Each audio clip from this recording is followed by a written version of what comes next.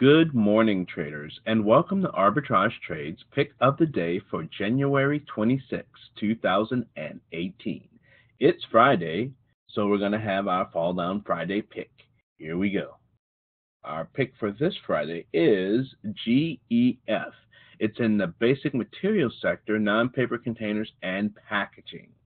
Uh, we see that it's in the best time to sell window because we see these nice bright fuchsia candles on our daily chart, which says that our RSI line is severely overbought and we are beginning our descent. We also see that our advanced level has just dipped underneath, saying that a new downtrend is beginning and we have confirmation with new lower lows.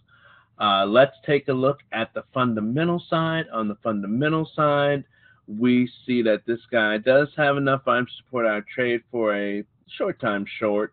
Um, he does have a dividend, so when he does rebound, it would be a good time to pick him up.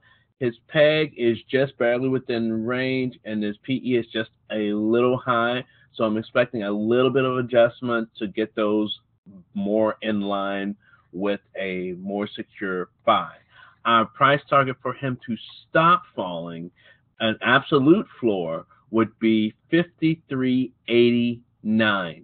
So that's about a $7 fall, which is about a 10% uh, adjustment. So let's see if we can make that happen.